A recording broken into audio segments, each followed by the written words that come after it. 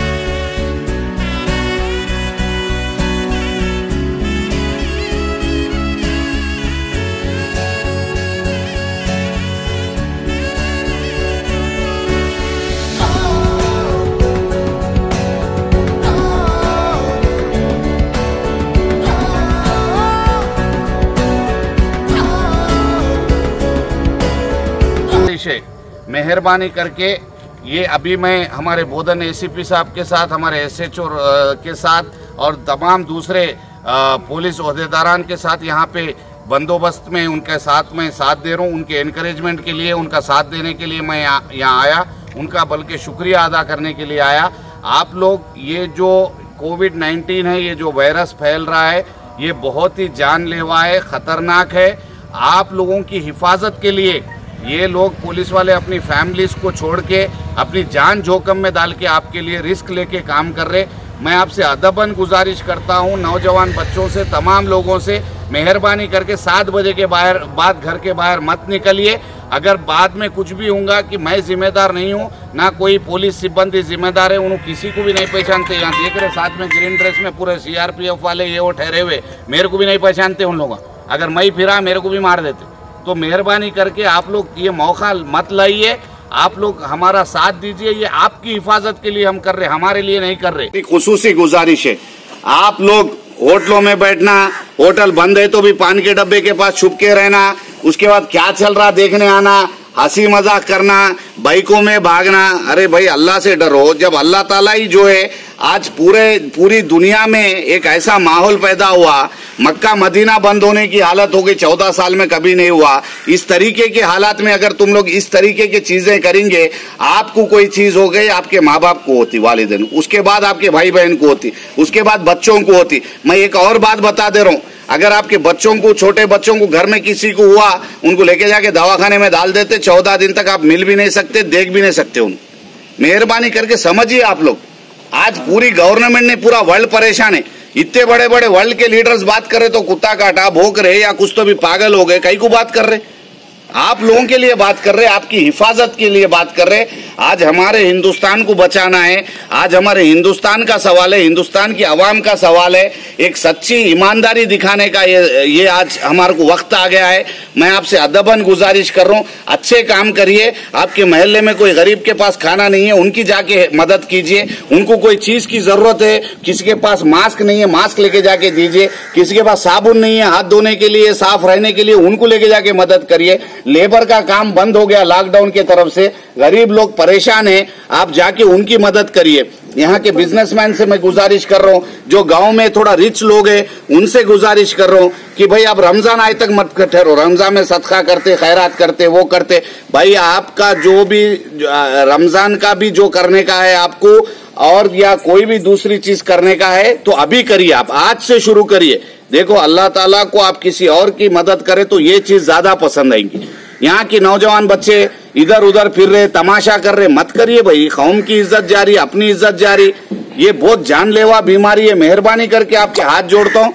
मैं समझिए, मैं तमाम माँ और बहनों से गुजारिश कर रहा हूँ कि अपने बच्चों को अपने वालिदेन, अपने बच्चों को अपने कंट्रोल में रखिए। बाहर आने खत्ता ही मत दीजिए। आपको बहुत ही अगर अहम काम है तो बाहर आइए। महलों में, चबूतरे पे मत बैठो रात में। पुलिस की गाड़ी आते भाग जा रहे, तमाशा कर रहे नॉनसेंस कर रहे, पुलिस वाले मारने को आ रहे, बोल रहे, उनके ऊपर गुस्से में आने। अरे, किसके लिए नौकरी कर रहे भाई उन्होंने उनके भी बीवी बच्चे है।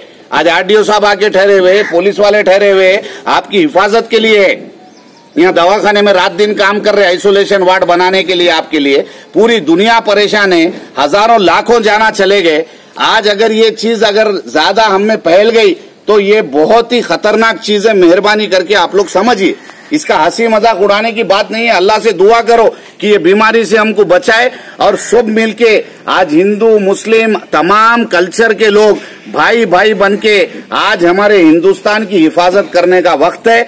मैं आप तमाम लोगों से, ये एक हमारी जंग है, ये बहुत बड़ी जंग है। आप तमाम से मैं गुजारिश करता हूँ, मेहरबानी करके ये समझिए, मेरे को, अपने को भी, मेरे को भी मेरी फैमिली है। लेकिन आपकी हिफाजत करना भी मेरा फ़र्ज़ है। मैं इसलिए हैदराबाद से चल के यहाँ पे आया यहीं आपके पास रह रू मैं हेडक्वार्टर में। कोई भी प्रॉब्लम है, आप लोगों को ज़रूर देखेंगे, कोई परेशानी है। यहाँ पे ऑफिशियल्स है, हम लोग है, आपके काउंसलर्स है, सरपंचेस है, तमाम लोग आप लोगों के लिए काम करने के लिए तैयार है। लेकिन हर एक शहरी का फ़र्ज़ बनता कि वो अपनी ज़िम्मेदारी खुद निभाए। याद कि नहीं, इसको तनखीद कर दिए, उसको तनखीद कर दिए, ऐसा मत करिए। कोई भी प्राइजेस नहीं बढ़ते और व्हाट्सएपों में मज़ाक करना जोक्स डालना सोशल मीडिया में मज़ाक उड़ाना, इस तरीके के मेहरबानी करके काम मत करिए। अरे, ऐसा सीरियस इशू है, आपके घर में कोई ऐसा हादसा हो गया तो वो किस तरीके की तकलीफ़ रहती, मेहरबानी करके आप लोग समझिए। यहाँ जान जोखम में डाल के लोग आपके लिए काम कर रहे खसूसी तौर पे मैं फिर दोबारा मैं नौजवान बच्चों से गुजारिश कर रहा हूँ कि मेहरबानी करके वो रोडों पे मत आइए मत आइए बाइक रैलीज मत करिए और दूसरे काम मत करिए, मेहरबानी करिए। आपसे रिक्वेस्ट कर रहे आपके हाथ जोड़ के बोल रहे नहीं तो उस पर सीरियस से सीरियस एक्शन लिया जाएगा। पुलिस स्टेशन में जेल में जाएँगे, वहाँ पे मास्क नहीं रहता, मट्टी नहीं रहता जेल में। कुछ भी नहीं रहता, तुम्हारे माँ बाप परेशान, तुम परेशान, मेरे को फ़ोन करेंगे तो भी मैं कहीं भी आने वाला नहीं हूँ। मैं मेहरबानी करके आपको बोल रहा हूँ कि आप लोग कानून को अपने हाथ में मत लीजिए, कानून की मदद कीजिए लॉ एंड ऑर्डर मेंटेन करिए, तमाम शहरियों की एक दूसरे की मदद करिए। अल्लाह ताला क्या बोले कि तुम मेरी मखलूक पे रहम करो, मैं तुम पे रहम करूँगा, तुम ज़मीन वालों पे रहम करो, मैं तुम पे रहम करूँगा। ये वक्त आ गया।